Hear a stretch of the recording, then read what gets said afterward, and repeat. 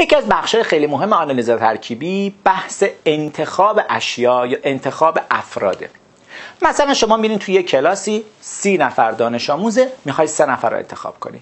چجوری تعداد حالت رو حساب می‌کنیم ما وقتی که بخوایم بیایم کا تا شیء و از بین ان تا شیء انتخاب کنیم تعداد حالتهای انتخابی من تعداد حالتهای تیمی که درست می‌کنیم. یه تیم داریم درست می‌کنیم. سه نفر می‌خوام انتخاب کنم. تعداد حالتهای اون تیم رو که می‌خوای درست کنی چه شکلی باید اون حساب کنیم؟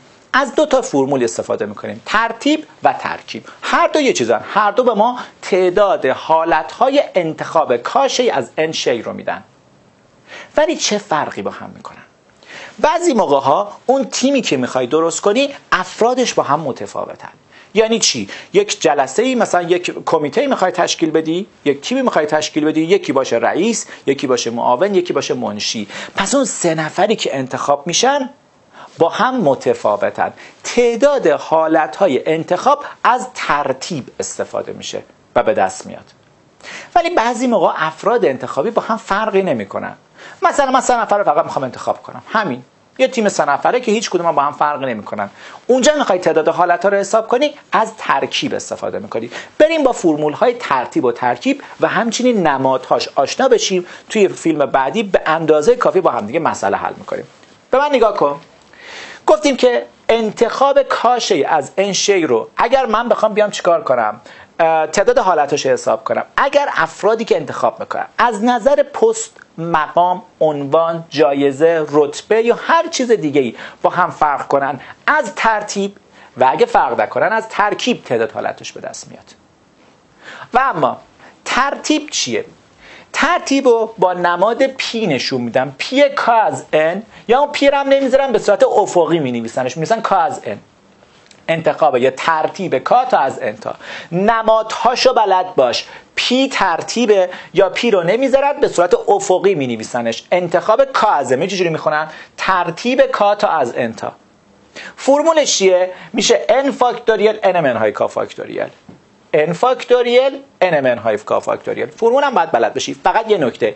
یه اسم دیگه هم داره به اسم تبدیل.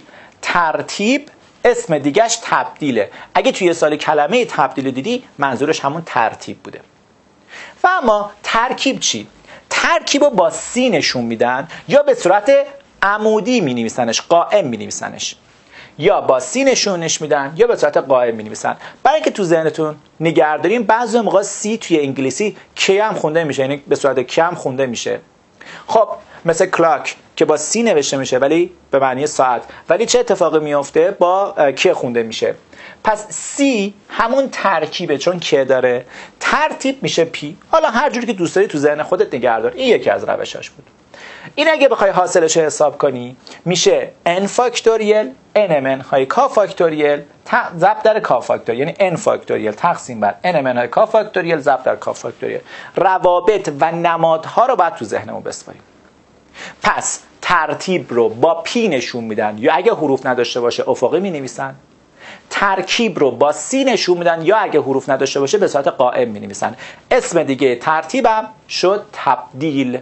بریم با هم دیگه مثال کنیم. اگر P دو از n منهای C دو از n مساوی سی و شیش باشد مقدار n را بیابید یک رابطه داره. هدف از حل این سوال فقط ساده سازی و آشنایی با فرمول بوده. خب بریم حلش کنیم. P نماد ترتیب بود. ترتیب فرمولش بود. N فاکتوریل. تقسیم بر n منهای دو فاکتوریل.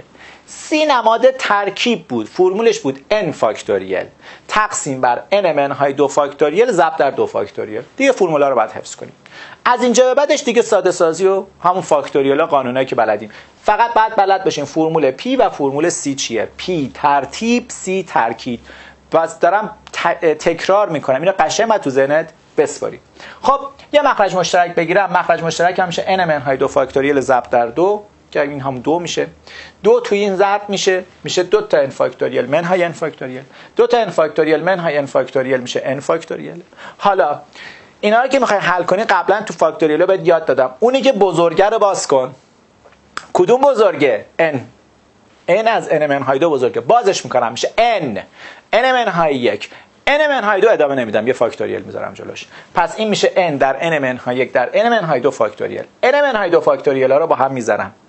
پس میشه n در n منهای یک دوم مساوی 36 پس n در n منهای یک میشه 72 ضرب دو عدد متوالی 72 شده. میشه 9 8 بزرگه 9 کدومشون بزرگه n پس n من برابر با 9 شد.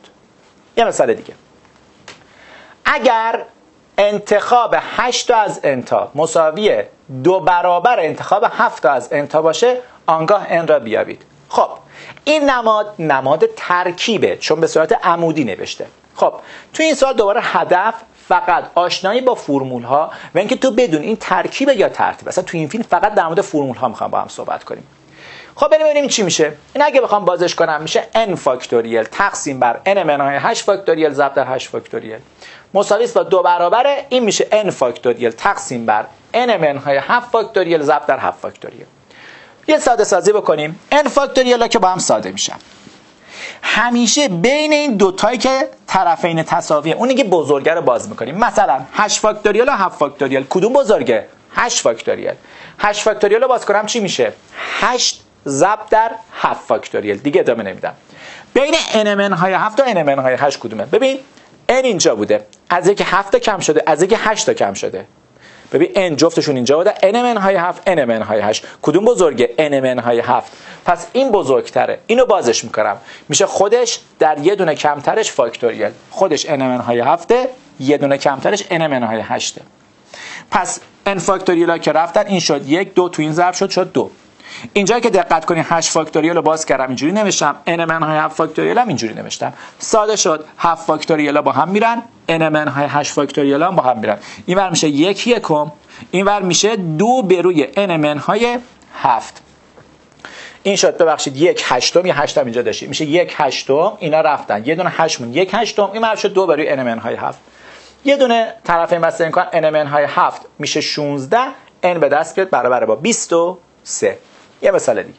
اگر تعداد تبدیل های x شی از 5 شی x برابر تعداد تبدیل های x منهای یک شی از 5 شی باشد x را بیابید سوال تبدیل چی بود؟ اسم دیگه ترتیب. تو این سال هدفش این بود. ببینید تو می‌دونی تبدیل چیه؟ اسم دیگه ترتیبه. پس اومده گفته که اگر من بیام x تا از 5 تا رو انتخاب کنم که توشون ترتیبم مهمه مساوی x برابر x منهای یکی از 5 تاست. من اینجا نوشتم. تعداد تبدیل های x شی از 5 شی مساوی با x برابر. تعداد تبدیل های x منهای یک شی از 5 شی. خب بچه تعداد تبدیل های x شی از 5 شی میشه چی؟ فرمولی اگه بخوام بنویسیم با p نمایشش می‌دادیم. تبدیل یا همون ترتیبو که میشه x تا از 5 تا. این میشه x منهای یکی از 5 تا. فرمول دیگه بلدم ها.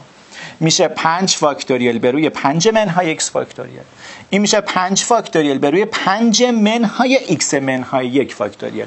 5 منهای x منهای یک فاکتوریل. یا در پرانتزشو بذاری 5 فاکتوریل که ساده میشه. این میشه یک این میشه x. این 5 منهای x اینو نگاه کن. منهای x. منها در منها میشه مثبت با اون میشه 6 پس این شد. 5 فاکتوریل رو رفتم. یه یک اینجا مون یه دونه x. این 5 منهای x فاکتوریل رو نوشتم. اینم شد 6 منهای x فاکتوریل. کدوم بزرگتره؟ این 5 این 6 از جفتشون x تا کم کن. کدوم بزرگتر شد؟ 6 منهای x فاکتوریل. پس اونو بازش کن. همیشه تو معادلات فاکتوریالی اونی که بزرگتره رو باز می‌کنیم. 6 منهای x فاکتوریال رو باز کنم میشه خودش در یه دونه کمترش. خودش که 6 منهای x یه دونه کمترش چی میشه؟ 5 منهای x پس میشه 6 منهای x در 5 منهای x فاکتوریال.